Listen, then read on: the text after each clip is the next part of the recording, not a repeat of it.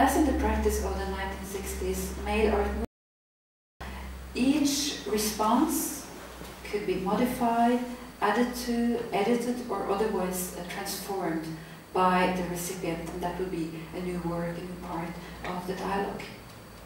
The first public result of this, this dialogue, which I think contains some 20 tapes or so, was Linda Benglis' 1972 tape, Mumble, which you've now seen seven minutes, uh, in which previous materials of the video dialogue were used as raw material.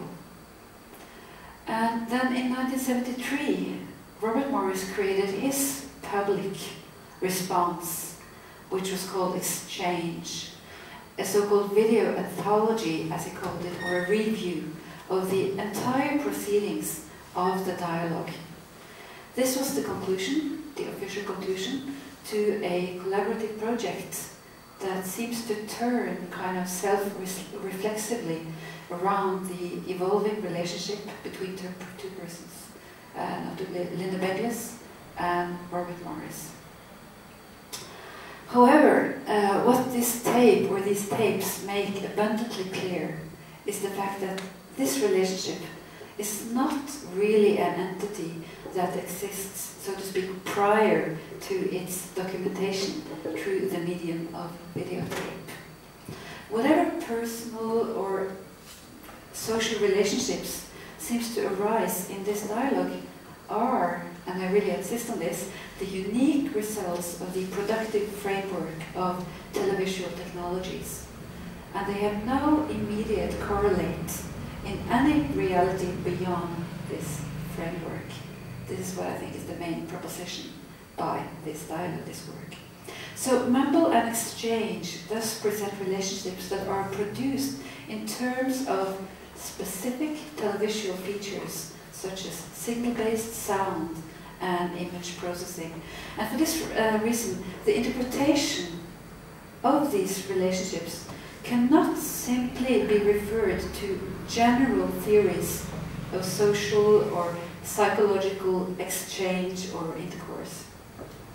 On the contrary, the televisual and aesthetic framework that informs this dialogue produces a relational mode that can only be accounted for in terms of its specific manifestation in mumble and exchange, these two public presentations of a long dialogue. Now, to watch this collaborative work is, in other words, then to be confronted with a form of sociality that has yet to find its description. We just don't know yet what it is. And the immediate experience is that of finding oneself deprived, so to speak, of the epistemological toolbox normally used in the description of social relationships or interpersonal relations or social space or what will you. And the confirmation of the notion of social order provided by these tools. If video is an epistemological tool of sorts, it seems to open up to a very different kind of knowledge of sociality. And ultimately, um, this revolves around an artistic medium that is principally construed as a new image technology, but at least these days, but whose early, I think most self-reflexive practice opens onto a quite different set of questions. Firstly, the question of the medium as a social machine. And secondly, the way in which its deployment as an artistic medium opens onto a possible reconfiguration of the very idea or image of social relations. These are questions that concern, I think, not only this specific work. Uh, I think it directs us to a much wider realm of articulation that emerged within the early video art milieus. And there will no time in this lecture to discuss this wider horizon, so this work is an example of what I see, in fact, as, as a larger articulation. Now, the general horizon for my analysis is as follows. Technologies are per definition social. I mean, that's, we all know that. And at the moment, a particular um, and often new technology is appropriated and transformed into I often find I've seen an acute artistic articulation of the issues of sociality or collectivity related to the specific production of sociality associated with the technology in question. This is a moment that we can see again and again as different technologies are appropriated for uh, artistic techniques. And what I'm researching at this moment is such articulations in the early days of video and television art. So the question of sociality specific to the medium of video. And this is not an evident question at all.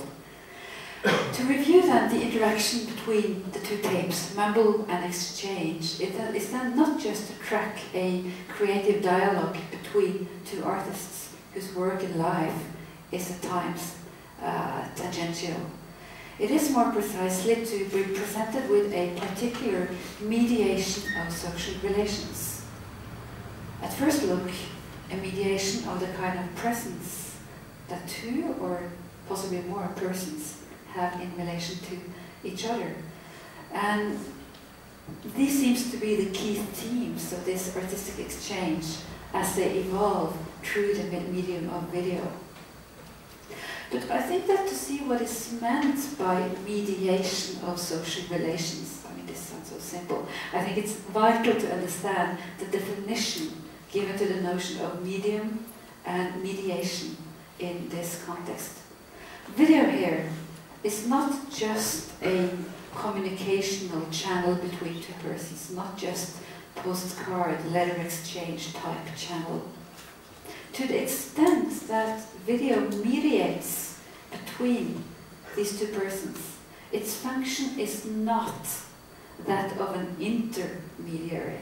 That's quite important to me. And I want to evoke here um, Bruno Latour's uh, quite suggest, uh, suggestive definition uh, of intermediaries and mediators. His idea is that the role of a mediator should be really sharply distinguished from that of an intermediary.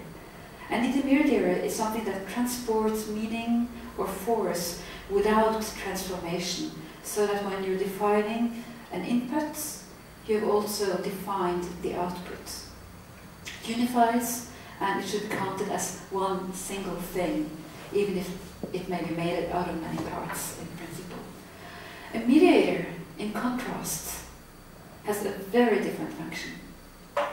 Its input will never its output, and its specificity has to be taken into account in every single instance. No matter how simple or self-evident a mediator might look, we know this technology, for instance, we know how it works, we know what it can do, these kind of things. Uh,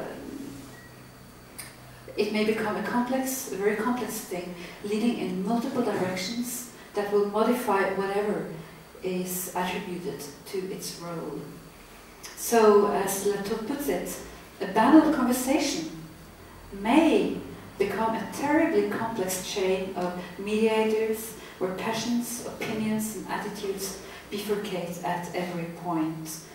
And I think that if video is chosen as the medium of exchange between uh, Morris and Benglis, it may be due to the fact that some of its technological features seem to explicitly support the notion that a so-called banal conversation may hold numerous complicating mediators.